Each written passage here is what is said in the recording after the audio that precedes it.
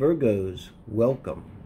This is your heart spread reading for the mid-December time frame, 2021. This reads the one that's on your mind, the one that's in your heart. Here, you're coming in with the Lover's card.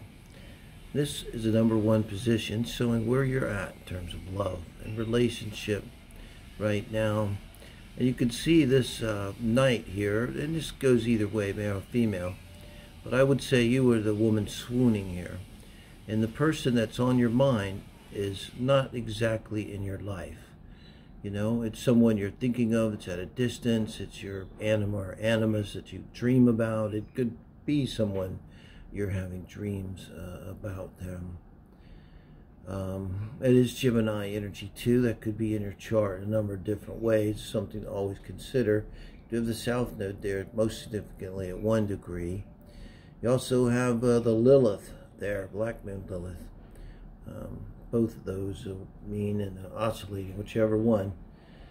They're at different degrees, but they're um, so I see someone here that's really thinking about love, uh, maybe dreaming about love, this kind of thing. That's more what this is here than any, representing any kind of choice. Um, and then we see her person coming in, very different energy, using uh, four pentacles here to represent where they're at in terms of love and relationship right now. Um, and they're being mm, holding their cards close to their vest. They're um, not really wanting to put a lot of energy into it. I doubt you met them on a dating site. Um, they basically like it, it is kind of opposite energy here. And that this really is, I would say, this is someone represents, they're, they're this is a, they're ready to get in a relationship. They're kind of open and looking and even maybe expecting. They'll be manifesting too, I should add. Now, there's someone not, you know, they're maybe just doing their thing, doing them, working, uh, you know, not working, um, but holding on to their pentacles, you know. Not even someone want to like probably go out on a date, you know, like no, no, they might just say I want to stay home. So they're really clamped down here. So it could be energetically too clamped down. So it'd be an interesting uh, pairing. But then now I want to look over here with the Three of Pentacles. This is you, Virgo, how you're reacting to this person and how you feel about them. This is an interesting read because uh, Virgo, and you can maybe not all Virgos are the same, but particularly Virgo moons are like this. But this is kind of seeing your person like as a job. Um, you know, um, it's also like to me like something you feel compelled to learn. Like uh, there, um, it is there's cooperation too in it. Um, but you're really solidly involved in them. It's like uh, this is not someone sporadically coming into your life. So, and this is the same person. This is swooning energy too. You're swooning over this person, right? Guys can swoon. I do it all the time. right. And uh, now your person, this is kind of, I don't really like this either. I hate to be negative, but I, every reading this week, this mid-December, it seems like the people coming in are kind of shady. I think we're seeing this Venus conjunct uh, Pluto thing. You know, I, I, man, I hate to go there. Really want to be careful. Just be careful. It, it's dodgy, dodgy energy. And I don't like see the magician right here because this is how they're responding to you. Um, I also see Mercury there. Um, you know, could kind of see that compatible in a way. Um, but also, it's like I feel like this is where they would be mirroring back to you, maybe deliberately now, sort of what you wanted to see you know, and this would imply like for some kind of personal gain. That kind of concerns me, you know, and then their advice from spirit towards you down here is the high priestess. And this is advice from spirit and how best to react in this relationship. And it's to basically, I think, reminding your person, I don't know they would be cross watching, I kind of doubt it, but um, you you know uh, this this has karma here. The magician if you're making things happen you know uh, basically it's like using people manipulating people. Um, there's consequences and you need to consider this uh, from the perspective of the higher self and your spiritual self you know um, kind of that's kind of important advice here. So I don't know uh, how malicious this is or whatever, but I think it's important because look, now the advice from spirits, the four swords. Now your advice is the strength card. And this is your advice from spirit here, Virgo, in how to best deal with your person uh, from a spiritual point of view. That's how they're advising you. And this is the strength card walking away. Many Virgos do have Leo in their chart. This is the Leo card. This is the fifth house, wherever that is in your natal chart. It's always significant, I feel like. Uh, but the fact that she's walking away too, um, it's it's really kind of saying, uh, coming under this Three of Pentacles, be prepared, be strong in yourself, or be prepared to be strong in yourself.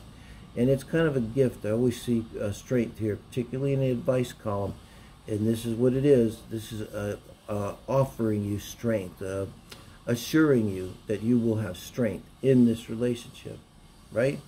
Uh, but it is kind of uh, advising you to kind of, you see how they come in with drawing energy. It's sort of to take a more, um, not defensive stance, but a strong, assertive uh, mm, investment in yourself in terms of energy and kind of withdraw it from the relationship. And you see here there's four of uh, swords. And I mean, this came out very similar. Everything's different except they. I had a six of pentacles this month too with the outcome.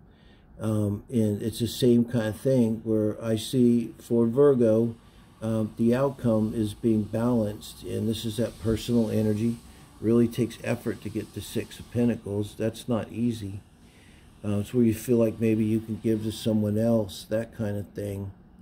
And you notice you're coming in feeling like the Three of Pentacles and the way you're feeling about them. So that Six of Pentacles coming uh, uh, between the Magician, and they come in with the contributing Four, which is sort of like nothing when you're coming in with four pentacles, it's like you're holding on your, you're just kind of like, I'm here, I'm not really going to pay for, And this could be literal, like you go to dinner, no, they're not going to even pay, forget yours, they may not even pay theirs, you know.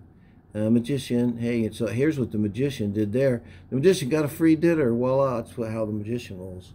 You know, here comes the higher self. Um, dude, this is like, or do that. dude or do that, you know, uncool, uncool right? And you know what you're being told here. And so, you know, at the very least, there needs to be this cooling off period, sounds like to me, from the Four Swords, like this isolation, both of you, um, like being uh, taking a break from each other. And I really feel like it's more saying uh, to Virgo here, consider, you know, healing and redirecting as the Six of Pentacles. Well, it's a Virgo card because you know, Virgo rules the sixth house, and it's Earth, Pentacles, energy. I always think of that too, even though it's also Libra because it's got the scales. So um, it's an outcome that seems very balanced and strong and whole and centered. And I think this ends up being you. And I think this is telling you it's going to be a period of like four weeks or four months here with the uh, Four Swords card, uh, where you're maybe going to have to take a minute out and perhaps, I don't know, process this relationship, grieve over it, that kind of thing. Um, but I, I think with swords, and we're not looking at years here. Um, so I don't know. Maybe it wasn't that deep um, of a relationship here. Um, but I think if this is your reading, by now you're going, yeah, I can't be taken advantage of. I think this is what we're dealing with. I'm sorry to be negative, but that's how it comes across here. Um, and that happens. And that is Pluto Venus. I mean, it's not a joke. So, boy, I tell you, in Synastry, just watch it. It can be really hot in the sack, too, but mm -hmm, it's uh, the one that the Hallmark movies are made out of, that transit, uh, Pluto Venus. So, thank you guys. Um, Virgos, give me a like. I'm Virgo rising, so, you know, I get, get it a lot of times. Um, you know, subscribe, hit the bell, all that good stuff. Thank you, guys.